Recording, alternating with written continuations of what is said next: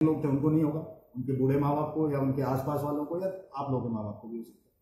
बच्चे पॉजिटिव हो रहे हैं इन सब का जिम्मेदार कौन होगा? बाद में तो इल्ज़ाम लगाया जाएगा सरकार के सरकार अगर कड़ाई से व्यवहार करे, तब भी इल्ज़ाम लगाएँगे। अगर कुछ करना चाहें, तब भी इल्ज़ाम लगाएँगे। ना करें, तब भी इल्ज़ाम लगाएँगे तो आखिर प्रशासन क्या करे? हम तो अपनी तरफ़ से चौबीस घंटे अपनी ड्यूटी करना चाहते यही कारण है कि हम रात के बारह बजे अपने घर में सो नहीं रहे थे। नहीं तो बाकी लोगों की तरह हम भी सो रहे होते। उस समय अगर मैं आधे सरकारी अफसरों को फ़ोन लगाऊँ तो लोग उठाएँगे भी। लेकिन मैं वहाँ पे गया जस्ट एक फ़ोन कॉल मुझे आया, उसको लिस्ट में चले अगर ये गुनाह है, अगर ये क्राइम है तो फिर मैंने क्राइम किया।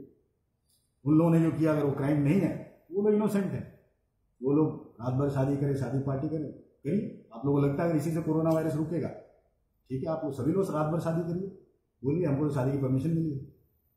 तो इस चीज़ तरीके से मैटर को डिस्टॉर्ट करके अगर सोशल मीडिया का प्रयोग करके गवर्नमेंट को बदनाम करने की कोशिश की जा रही है प्रशासन को बदनाम करने की कोशिश की जा रही है कि ये बहुत ही दुर्भाग्यपूर्ण है और ये उसी के जैसा है कि आपके कमरे के अंदर हाथी खड़ा है लेकिन आप उस हाथी को देखने से इनकार कर you can't see the elephant in the room I can see number of cases are increasing every day Agartala is becoming like a hot spot.